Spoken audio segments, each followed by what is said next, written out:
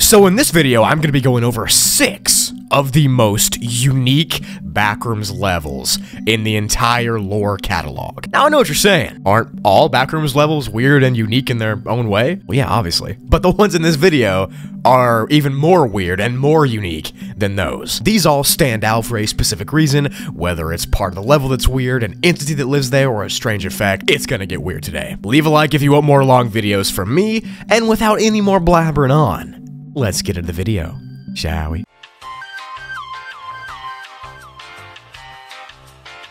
Backrooms level 23 is a class 4 question mark difficulty and is unsafe, overgrown, and has a medium entity count. This has got to be one of the most unique levels on the Wikidot, and it has one of the most unique level classifications that I've seen. The entire level itself is basically a huge superorganism that's the size of a dwarf planet. Pretty much, it's just one huge living planet that's made up of trees and caves. The trees can look like any trees from real life, but there's also huge ones that we'll get into in a second. But the level itself is described as a similar size as the dwarf planet in real life called Ceres. You can travel all through the center of this level by using the natural tunnels that are carved out. The tunnels are surrounded by wood and stone and resemble just a normal cave system. Or you can walk around the surface of the planet, which is covered in really thick and dense forests. Now, these forests are so thick that there's barely any light that comes through them to the ground. And the trees that I talked about earlier that are on the surface are from all over the real world as well, and they normally wouldn't be trees that are grown together, like oaks and evergreens are right next to each other here. But there's also these massive trees here that are like two miles tall and grow up through the ground called the Green Giants. These things can grow from the core of the very planet itself. There's also some extinct trees here, but it doesn't name any that are there, so it just says they're extinct. So under the tree-covered surface of the level, there are huge caverns and open rock cutouts and caves and pathways that I talked about earlier. Some of the caverns have specific names, and some of the rooms in the caves have specific names as well. Like the glow rooms, for example. In the glow rooms, there are several trees that grow, even without the sunlight. There can be so many trees that actually it seems like there's an underground forest, even though there's no light. Now, the areas like this are lit up by an entity called the Gardener's Saris, which are glowy bioluminescent things that light up the trees and the stuff down here. They can be in a bunch of different colors, and they're pretty chill. If you've played Ark Survival Evolved, they kinda look like the map Aberrant. If you know, you know. The atmosphere down here in these caverns is damp and cool and earthy, and it's also the place where the most entities and vegetation spawns. So be careful. Pretty much think of a fantastical underground wooden city.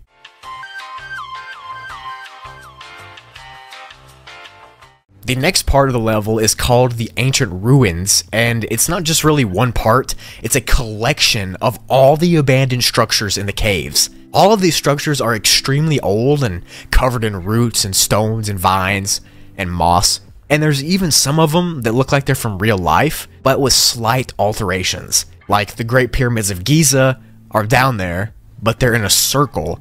Or like the Roman Colosseum is down there as well, but it's shaped in like a square which is pretty cool. Inside of the ruins, there are some artifacts like poetry on tablets and cloth, and some paintings from real life, but all the stuff here is really decayed and it's really fading away, so you can tell it's been there for a long time. Right outside of one of the ruins, there's a message written on a tablet in Latin. I'll get to what it says in a second, but that's the first of many scribblings written in this level. There's even graffiti scribbled on the inside of ruins that looks like someone hastily wrote it, like they were in a hurry or something. That plaque that I was just talking about says, We dedicated this great sphere of Giza to the great gardener in hopes of forgiveness for the great wrong we have committed. Already our purple eyes have turned green. We have started to return to the earth, forgotten and overgrown. Our only hope is that, alone and petrified, we will not disappear. So yeah, I gotta be honest, that's that's creepy. The very core of this giant living planet thing is the part of the level that remains barely explored. It's the lushest area, the most plants grow here, the most entities are here. It's like a life center. The very core of the center is a huge, never ending reservoir of water that feeds the entire planet. And those two mile tall trees that I talked about earlier grow directly from this huge reservoir of water, and they carry the water up its trunk and release the vapor into the caves and above the ground. So that's how the rest of the level gets its nutrients. The trees kind of work like roots, if you think about it. This level is actually home to a really creepy entity called the Buried Sentries, which can only be awoken if the phrase, quote, it's only a matter of time is said out loud. The sentries themselves are trapped inside of wooden roots and the bark of the cave walls, and if they're awoken, they jump out and they scream so loud and so constantly until you run away. The scream sounds like a chainsaw cutting wood, apparently, which is terrifying, to say the least. There's only been one base here, and it's called Meg Base Seedling, and they pretty much just explore the level and research it. Then they've got around 35 people that live with them. To enter this giant, fantastical, living planet, you can just walk through a hollow tree on level 47 or 37. Or you can enter a hollow tree from the Crimson Forest to get here as well. And you can exit by jumping in that huge water reservoir at the core of the level, or you can no-clip into some of the different ancient ruins in the caves in order to be sent out of the level. Also, I just realized how hoarse my voice sounds. Apologies, I've been recording all day.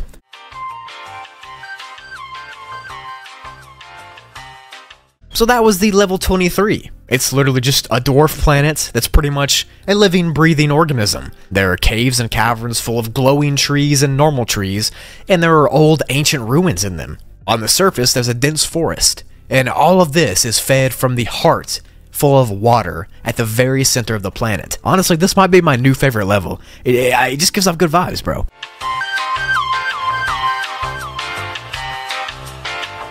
So Backrooms level 931, or the Leafy Corridors, has a classification of class 0, and it's safe and stable and devoid of entities, question mark. So it most likely is devoid of entities, but we don't really know. It's just up for debate. The beginning of the level shows itself as a long and winding concrete hallway that's huge and has really tall ceilings and big glass windows on the left side. These windows are huge rectangles that look over this beautiful sky scene, and it's always this sunset time of day when you look outside. The ground of the hallway is made out of grass and flowers, and it gives off this eerie but relaxing feeling, almost like you've been there before. The sun that shines through the big windows gives this entire level a bright kind of glow that has a similar healing effect and calming effect that almond water does. So just by walking through the hallways, you'll feel more alive and more comfortable, and you'll start healing more. And you'll just feel awesome. I mean, how can you not? This entire level gives off a feeling of comfort and peacefulness, a feeling of liminal heaven, if you will. It almost feels like an art piece in a way because it's so beautiful and eye-catching. Or maybe I'm just crazy and I'm looking into it too much. I think it's beautiful. The windows here actually don't have glass on them, so theoretically, you could just walk right out into the clouds to the side, but whatever you do, do not do that. You need to avoid the clouds at all costs, and I'll explain why later in the video. Just know that you gotta trust me. And I've never lied to you about anything backrooms related so far, so just trust me. So those grassy corridors that I just explained, that's the start of the level. It's kind of the zone where you'll spawn in and you'll be at for a while, but after you walk through it for a long time, you'll actually end up going to the second part of the level, which is just called Part 2. I know that's a crazy name, but yeah.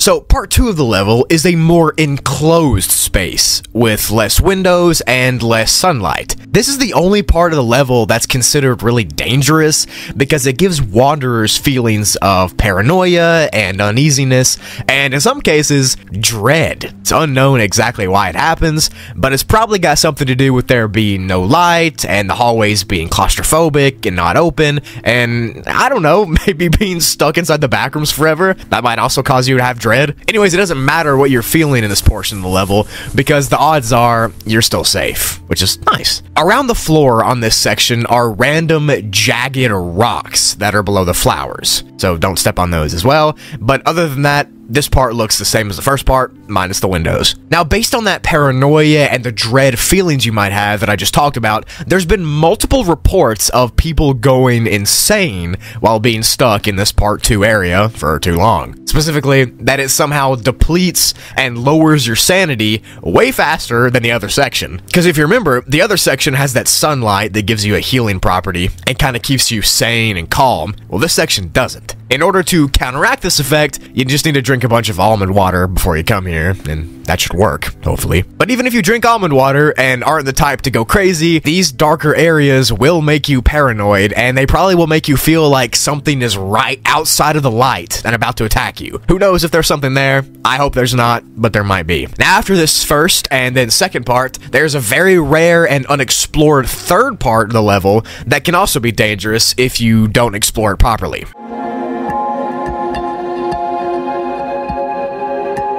The third part looks like the first part, with the big open windows and the grassy floors and the clouds outside, but this time, instead of it just being clouds in the sky, there's just ever so faintly a city inside the clouds, just like a floating city floating in the air outside of the windows on top of the clouds. Now, at this point in the level is when your mind will try very hard to get you to jump out of the tunnel and into the clouds below. But you have to not do that if you want to survive, and the reason that the cloud area is so dangerous is because it is a direct link to the void level. And if you don't know what the void is, it's pretty much just an infinite expanse of black nothingness that you're trapped into for all eternity, which is not very fun. And jumping onto these clouds seems to be, like I said, a direct link to the void. So just don't do that. No matter what your mind says, don't.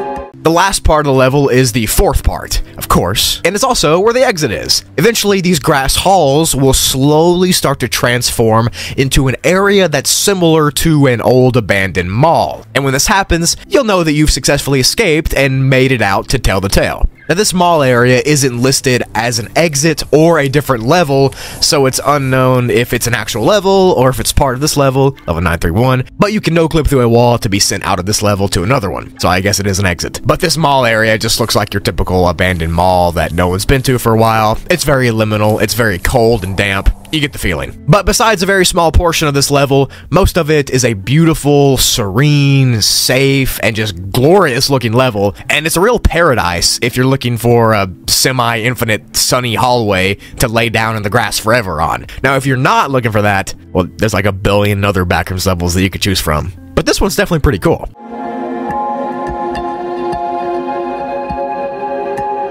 To enter it, you have to find a door on the hub level that's labeled level 931, or you can wander too far into level 1. That also seems to take people here. Now that could be very useful to speedrun the backrooms because you could go from level 1 all the way to level 931, which is skipping 930 levels, so you might want to keep that in mind. To exit, you can walk far enough into that fourth part, which is the mall, and you can no-clip out, or you can find a door on the right side of the hallway and go through it to be sent to level 184. If you remember, the windows are on the left side of the hallway, so the right side is where the concrete is. You can find a door there. Or you could just bring a huge store of almond water and stay here forever. It's pretty much up to you.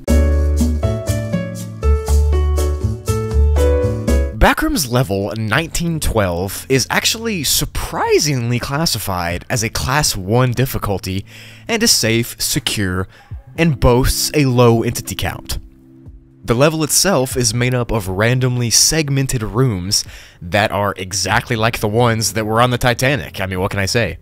There are actually five sections that make up this level, and those sections are the first class, the second class, the third class, the maintenance boiler room type area, and then the boat deck itself.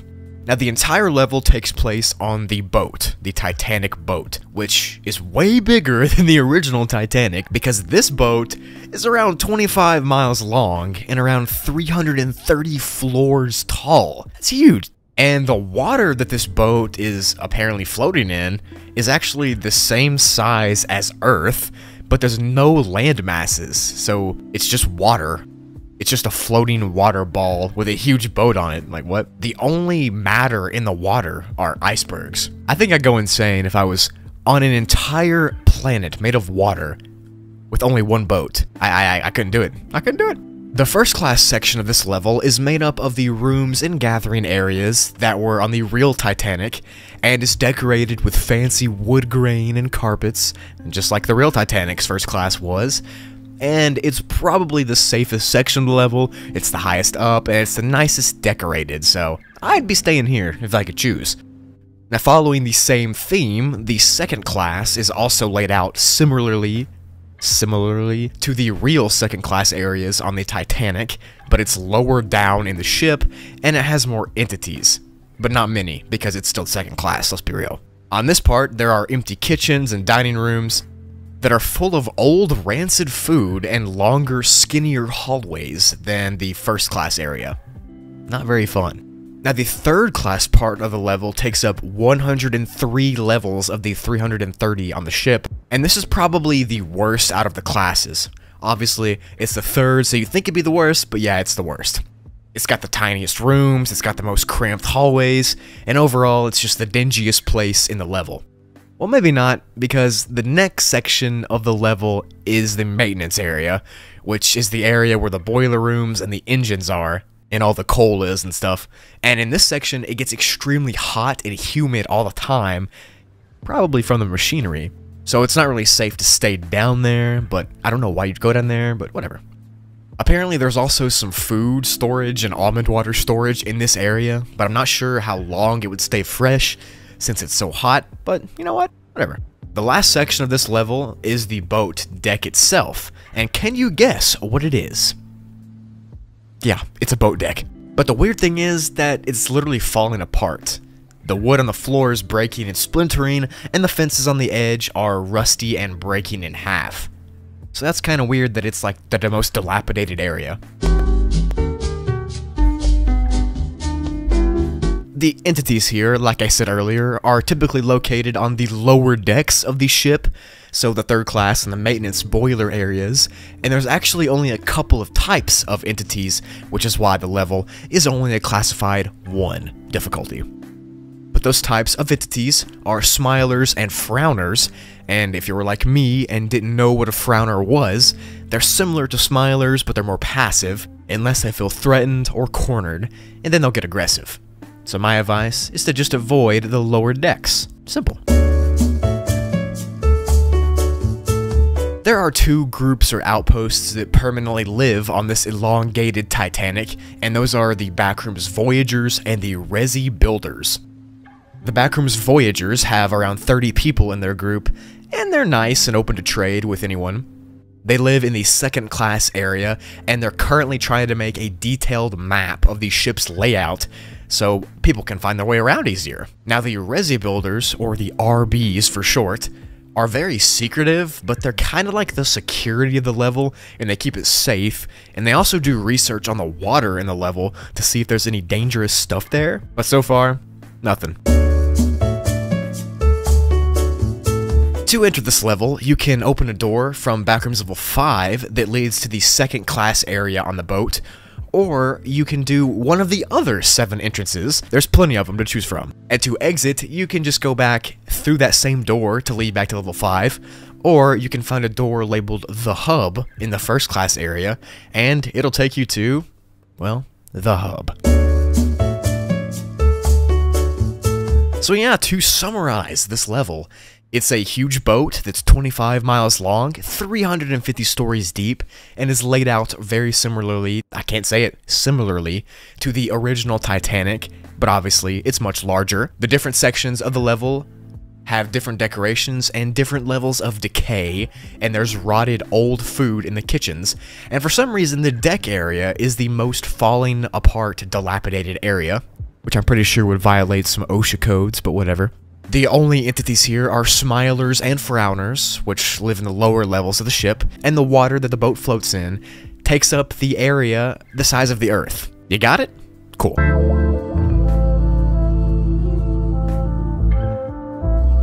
Level 4000, aka the final frontier, is extremely unsecure and unsafe for the most part, except in one part, which I'll talk about later. And the level is split up into two distinct sections, which I'll be explaining in depth, of course. But the two sections are called Thalassophobia and the Near Shore Area. The Thalassophobia area is unsafe and unsecure and has undocumented entities around as well as a extremely dangerous documented one. But this part of the level induces a deep sense of thalassophobia to you the second you're in it. Even if you don't have that to begin with, it still gives it to you.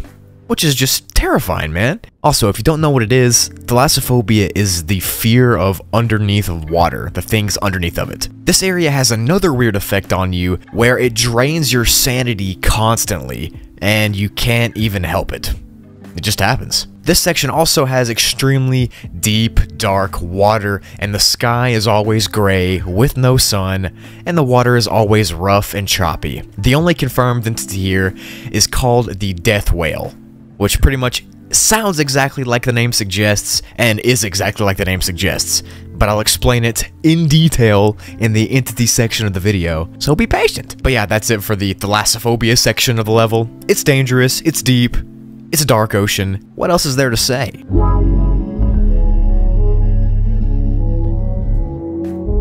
The next section is called the Near Shore Area, and this area is actually pretty safe and moderately secure, which is way better than the Death Whale infested water. Since its name is literally near shore, I'm sure you can guess that this section is near a shoreline, quote unquote, but don't get your hopes up because there is no actual shoreline. It's just an infinite section of an area that looks like it's gonna be a shoreline, but you can never get close to it. Kinda sucks. Apparently, two Meg members traveled 26 miles towards the shore that they thought was a shore, and they didn't get any closer. This area has these black rock island formation things that stick out of the water, and there's lots of other sea life here as well, like birds and lizards and that kind of stuff, as well as seagulls and mackerels and other fish and, you know, just the typical ocean stuff. And a really creepy entity also lives here called La Kamiloa, which I'm going to talk about in depth in the entity section, so you'll see it there. Every four hours in this area, a random mist will start to roll over the water, and off in the distance you'll see a lighthouse light and the tower very faintly. But it's impossible to get to this lighthouse because it seems to change directions, and after about five hours of this mist in this lighthouse, it'll all disappear and it'll all be gone. And that was the last part of the le- Wait, there's a secret part. What? The secret part of level 4000 is called the Silver Waters and is safe, secure, with no entities. This section of the level has only been seen by two people ever, and the entrance to it is unconfirmed and obviously unsafe. The water in this section of the level is kind of metallic, it has this weird thick texture to it, and it's also been tested and is actually made of a very similar compound to liquid silver. So like melted silver, but an ocean. Interesting, very interesting. So for the long-awaited entity section, there are two main ones that I want to talk about, and those are the Death Whales and then the La Kamiloa. We'll get into the Death Whales first. These things look like normal humpback whales, which if you didn't know, are already one of the largest things on planet Earth, so that's terrifying. But instead of the peaceful giants from real life, death whales are anything but that. They are dangerous.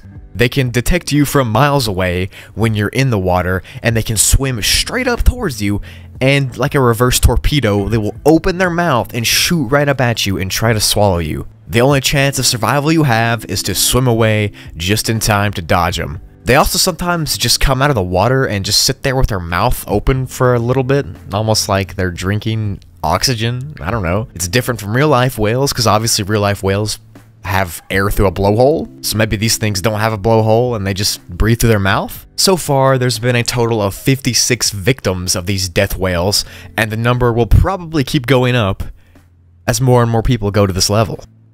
The next entity is the La Kamiloa entity, which is just terrifying to look at. I mean, just look. This creature is very mysterious and is rarely seen, but it's really unknown how it's supposed to act because sometimes it's aggressive, but most of the time it's not. It looks like a large humanoid that's made out of stone, and it's supposed to be around 100 feet tall, but that's just how tall it is when it stands out of the water.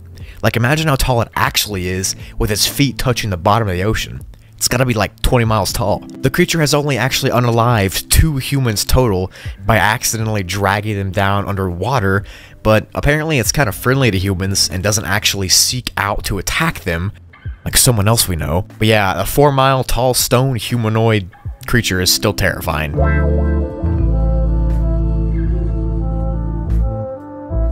There are actually two colonies on this level. Those are the Ocean Explorers and the Noki Noki. The Ocean Explorers, well, they're ocean explorers, and they're the only official group stationed here.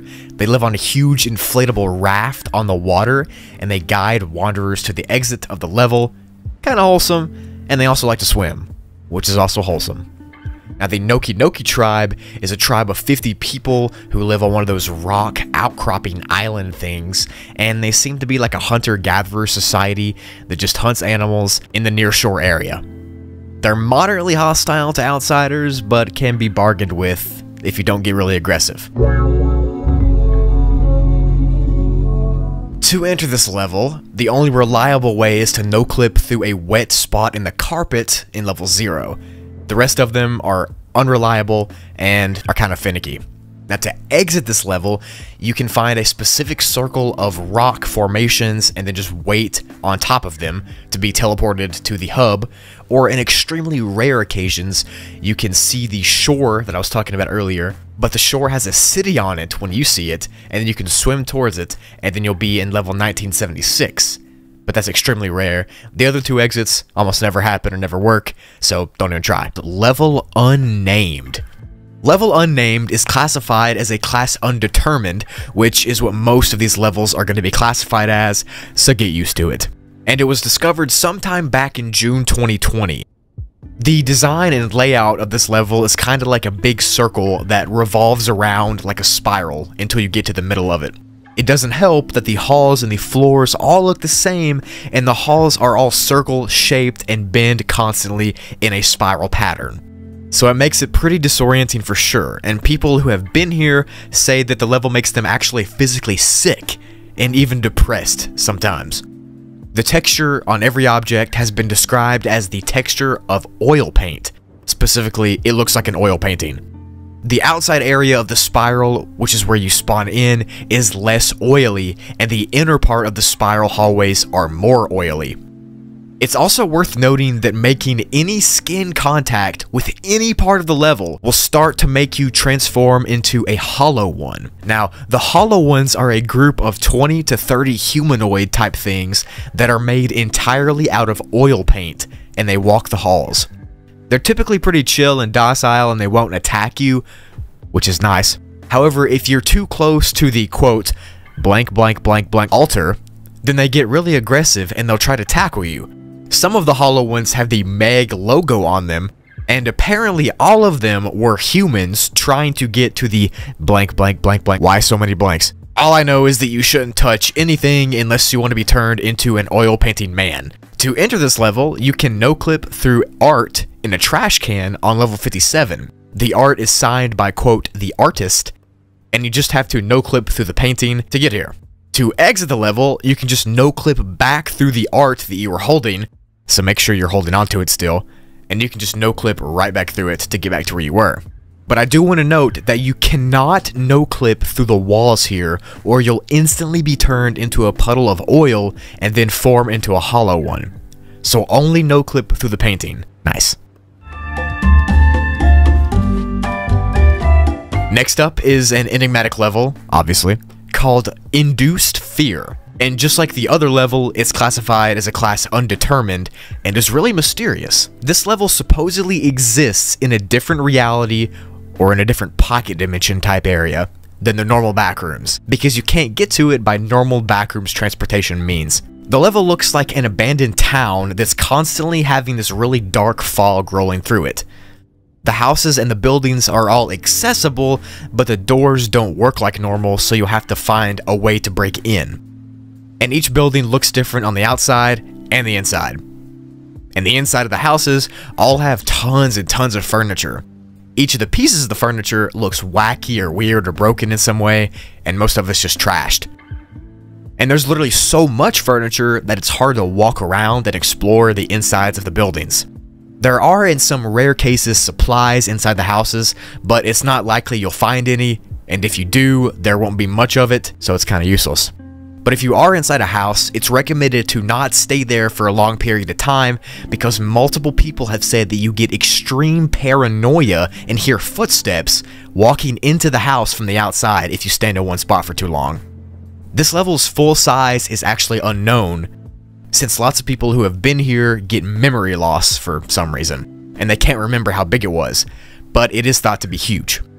One unique thing about this level is that each object has a weird ability to just grab and silence sound waves.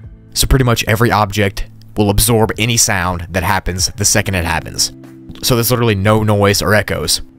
And if you do hear footsteps or something like that, then you're just making it up in your head, but it still makes you go crazy and more paranoid.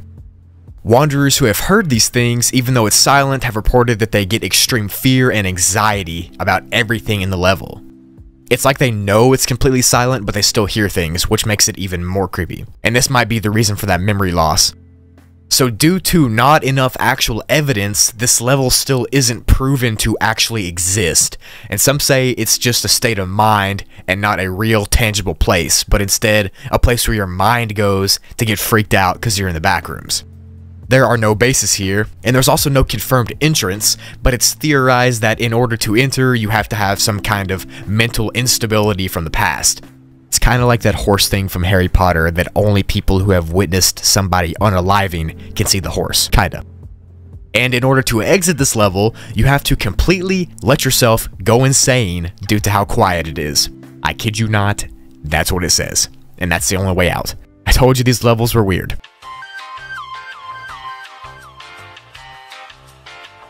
So Backrooms level 283 is classified as a class 3 difficulty and is unsafe, unsecure, and has a lowish entity count. In short, the entire level is a humongous complex of playground mazes that are all lined up in different zones. I'll be getting into each different zone throughout this video as always, but first, let's just talk about the level as a whole. The entire level is made up of interior playground complexes, like those ones from McDonald's and arcades from the early 2000s. And all of these playgrounds are morphed and fused together to make one giant structure. Literally just an infinite playground, tunnel, complex thing. The main two parts of the level are these indoor playgrounds and then these infinitely expanding ball pits, but there are other kinds as well. We'll get into those later. There are also a couple lesser known areas like lounges and rooms and that kind of thing, but who cares about that stuff when you got infinite playgrounds to explore? So let's dive right into the main parts of the level, which are the tubes,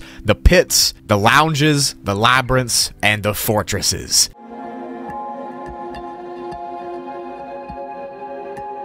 There are several tubes located inside of the level, and there are several entrances to the tubes also. You enter by climbing through a round, circular, slide looking thing, and once you get inside of them, you'll be in this huge expanse of playsets. The only light in these tubes are from the windows inside of them, and the windows themselves are actually whited out, and you can't see through them, but they give off this white glow inside of the slides and the other areas in the tubes. Because they're whited out, no one has any idea what's on the outside of this massive complex, or if there even is an outside, who knows. You can get out of the tubes by going down slides, which are located in the side of them, but be careful when you pick a slide, because you don't know where it's going to lead you to. The slides themselves can look like a variety of different ones. Some of them are just normal slides that go straight down to the floor. But like I said, they can also lead to very different parts of the level. Some could take you to the lounges, some could take you to the labyrinths, and some could throw you directly into a ball pit, which you probably don't want to go there because we have no clue what lurks inside of them. Some sections of the tubes are actually dark, and in these dark sections is probably where you're going to run into an entity. If you do, you might run into a faceling or a wretch or something like that crawling through it. Just be careful where you're going.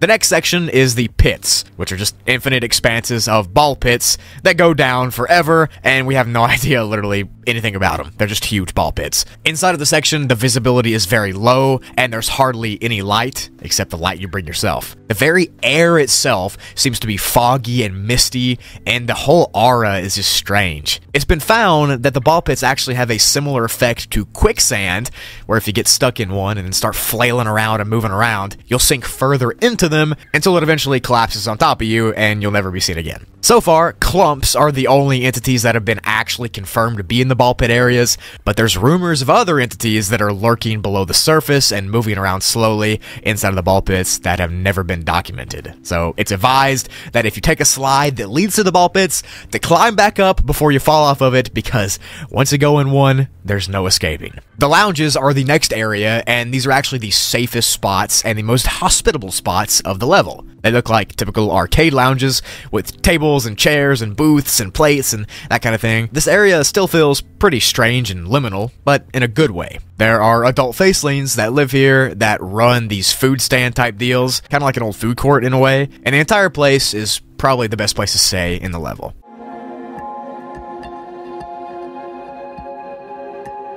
The labyrinths are next, and these are mazes of weird, colorful playground stuff. Things like teeter-totters, swings, slides, monkey bars, and literally everything like that are found here inside of the labyrinths. Just think of a massive complex of indoor playsets, and that's what you got here. Specifically playgrounds. The area itself presents itself in a maze, and it just keeps on going and going, and it almost seems infinite. The walls are made out of some type of colorful plastic, and they have goofy paintings and shapes all over them, and everything is just like comically proportioned, like everything is huge. And the entire place has this really weird architecture that doesn't make much sense. These labyrinths are where the level exclusive entity that lives here, known as Carnies, are found. But more on them in the entity section. They're just creepy clowns, pretty much. Anyways, the labyrinths seem to be like a fever dream of like this fun house. It's all very creepy and psychedelic, and you could get lost in here. The last location in this level that's been found are the fortresses, which are these weirdly tall looking stacked houses that just look comically made. They look like something out of a Dr. Seuss book. They're lit up with weird colorful light bulbs, and they can be up to 50 feet tall, and they just add this weirdness to the level. Carnies can also be located in this area as well.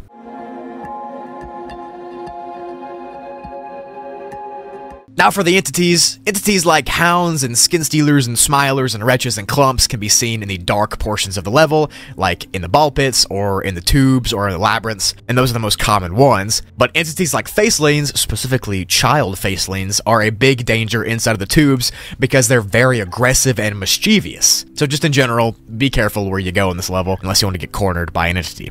There's also that level exclusive entity that I talked about earlier, called Carnies. These entities take the form of huge anthropomorphic clowns, obviously. They actually take on multiple appearances and behaviors. Some of them are nice and kind, and some of them are crazy and want to eat you. So just avoid them at all costs, especially since, you know, clowns are terrifying. But they do live in the labyrinths and in the fortresses of the level, so if you find yourself there, just don't run into them. There are also two bases here. One of them is a Meg base called Epsilon, and one is a BNTG camp known as White Castle. Both of them are open to trade, and they kind of help people if they need it. These are hard to find, though, so just be careful when you're wandering through if you want to look for them. To enter the level, you can find a comically proportioned door on level 2, open it up, and you'll be sent here, or you can find a slide on level 9, go down it, and you'll wake up here as well. The exit, you can find a painting of a sad clown, and then take it off the wall to reveal the entrance to level 57, or you can jump into a ball pit and hope it takes us somewhere. I don't know though, I feel like I'd stay here for a while just for the nostalgia of it all. What about you? Let me know in the comments. Wow, thank you so much for watching to the end of the video. This is over like 40 minutes long and you're watching to the end. I, I appreciate you, dude. Thanks. If you did stay till the end, let me know in the comments which level in this video is your favorite. Also, check below for any links you might want. I have a second and a third channel Third channel's low key popping off right now. If you don't know what it is, it's called Spoogli. I do like internet horror, weird ARG analog stuff over there. It's really cool. It's almost got 50k subs. Go help a brother out if you want to sub. If you don't, that's okay too. If you at least made it to the end of the video, would you mind dropping a like for the old Brookster? That way I can know if you did enjoy these, this kind of video, this style. Um, I'd, I'd love and appreciate you all. Thank you so much. And without further ado, I'm going to end the video here.